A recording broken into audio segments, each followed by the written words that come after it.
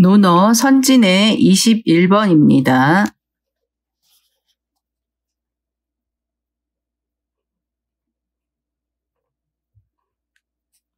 자, 왈, 공자께서 말씀하셨다.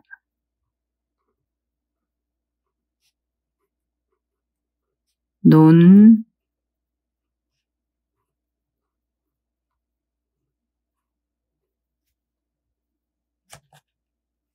독.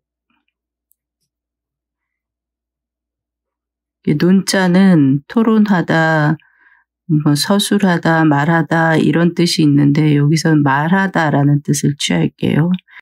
독자는 진심이다, 견실하다, 단단하다 이런 뜻이 있는데 합쳐서 그냥 말을 아주 잘하다 이렇게 말을 잘하다.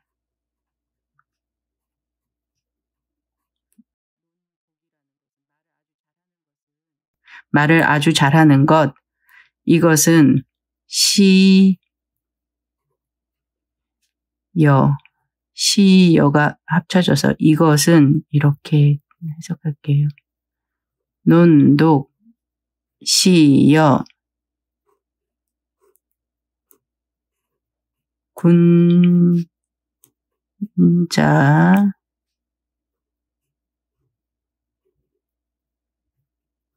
자, 오. 말을 아주 잘 하는 것은 이것은 군자된 것인가?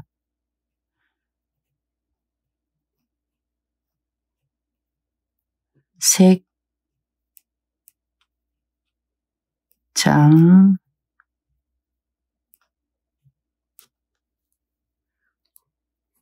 자,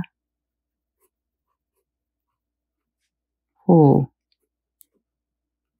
잘 꾸며진 것인가? 이게 겉 보기에 색자가 겉 보기에 장자가 뭐 엄정하다, 정중하다, 꾸미다 이런 뜻이 있는데 여기에서 잘 꾸며진 것 이렇게 해석을 할게요. 말을 아주 잘하는 것 이것은 군자된 것인가 아니면 멋지게 보이는 것인가?